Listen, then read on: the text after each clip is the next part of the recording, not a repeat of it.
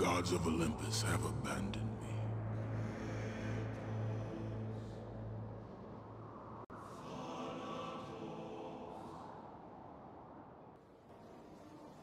Agora não há mais esperança. Então Kratos se jogou da montanha mais alta de toda a Grécia. Depois de 10 anos de sofrimento, 10 anos de pesadelos intermináveis, finalmente chegaria no fim. A morte seria a fuga do pesadelo.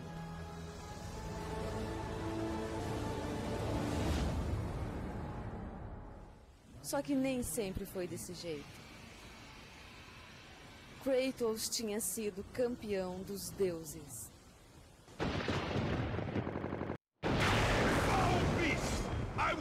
You back to the depths of Hades!